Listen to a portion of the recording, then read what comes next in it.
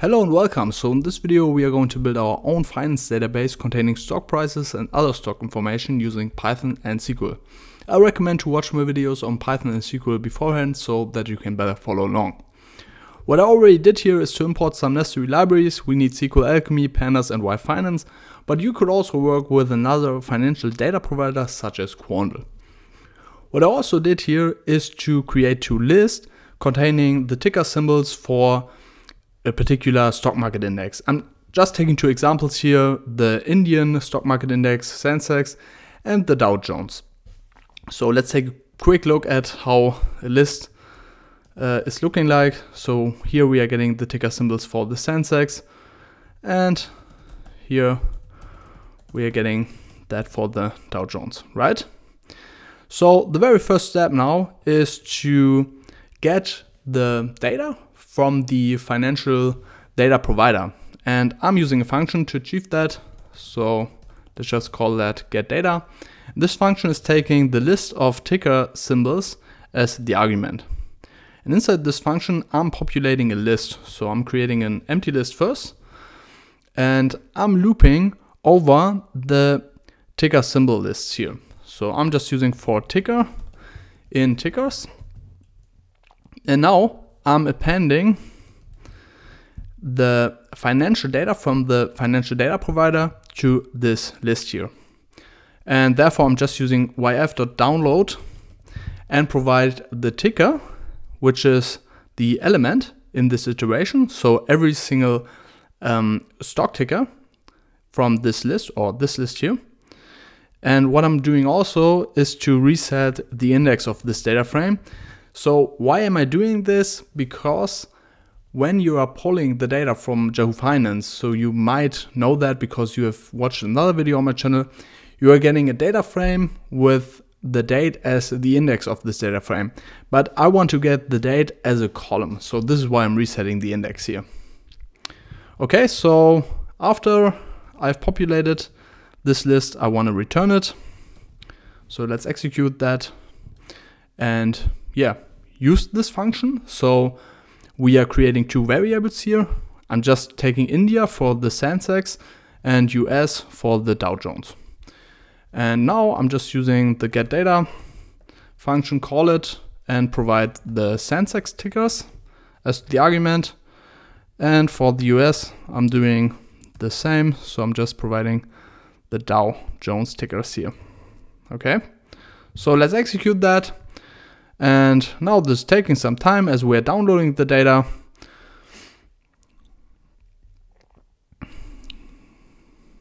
So let's go through that waiting time together.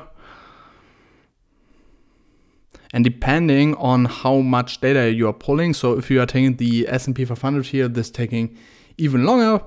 But if you are storing the data in the database, you don't need to wait uh, for this anymore. So this is the point of this video, that we have our own database and are not dependent on online requests, right? And the online request, by the way, is limited. So I think this is very helpful for you. Maybe I'm wrong with that, so be kind of ready to provide me feedback. Okay, so I think this is finished. Yes, it is. So let's take a look at what we are getting for India. And now you see we are getting a list containing the known data frames, right? And a data frame, so let's just take the very first element of this list. A data frame is looking like this. We have a date column, open high, low, close, adjusted close, and volume column, right? So this is how the elements in these lists look like. So if we are taking a look at India again, we are getting a bunch of data frames stored in the list here, right? And yeah, same for the US, of course. So we can take a look at that if you like. Now we are getting for every stock uh, ticker, we are getting a data frame like this. So we are getting 30 data frames here, right? So same for India, by the way. Now, what is the next step?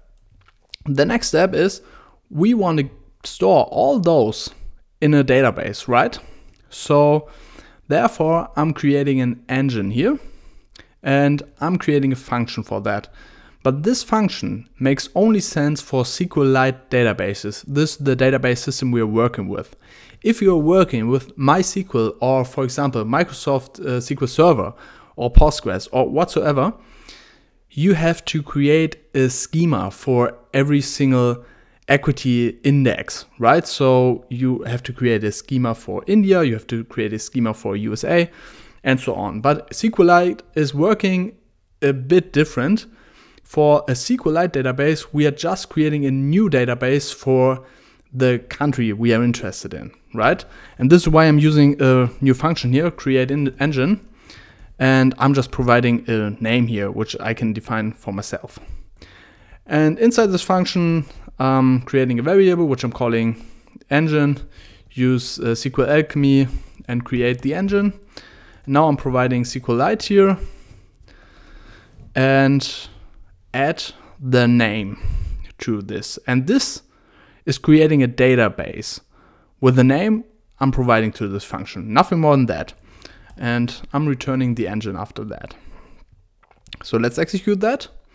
And now we want to create two engines. We want to have an Indian engine and a US engine for the Dow Jones. You can also call that Dow engine, but I'm just taking a simple example here. So you have to make your own amendments for your requirements, right? So I'm taking India engine and US engine here. And with that, I'm just calling this function. So I'm creating an engine and provide the name of the database. So I'm just calling that India here. And I'm also creating an engine for the US and I'm just calling that USA here, right? Okay, so now I have two different database engines here, right?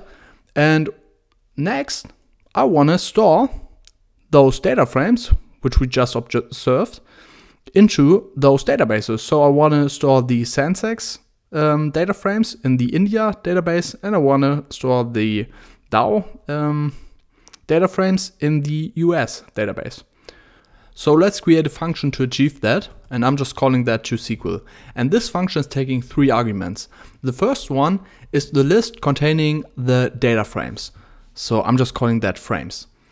The second one is the ticker symbol list. So I'm just calling that symbols. And the third one is the engine. Now inside this function, I'm defining a loop. And this loop is, I'm just writing it down first. So this is for frame symbol in zip frames symbols. So what is this loop doing?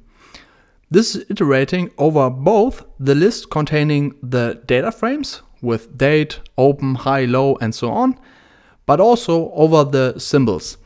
So to be more specific here, if I'm taking the US list here. So this would be frames. The first one is the data frame. So this one here, this is the first iteration. The data frame for the very first ticker symbol. And the very first ticker symbol was uh, 3M, right? So I'm just looping over both, okay? Okay, what do we want to do with that?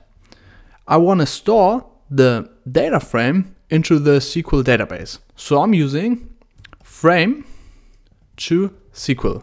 And again, the frame is the first element in this iteration containing the data frame, right?